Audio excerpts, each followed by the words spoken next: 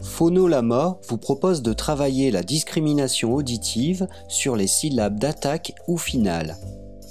Dans le premier jeu, l'enfant doit cliquer sur une image pour entendre la lecture audio du mot correspondant. Poulailler.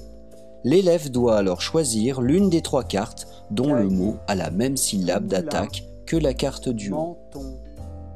Poulailler. Poulain. Une bonne réponse au premier essai fait gagner une étoile, tandis qu'une bonne réponse au deuxième essai fait gagner une demi-étoile. Une série de 10 questions est proposée.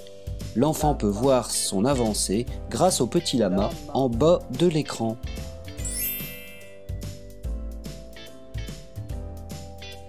Le deuxième jeu est semblable, mais avec un travail autour des syllabes finales. Valise. Chemise. Comme dans toutes les applications du lama, il est possible de remettre les scores à zéro en appuyant 5 fois sur Serge le lama. A bientôt dans la classe du lama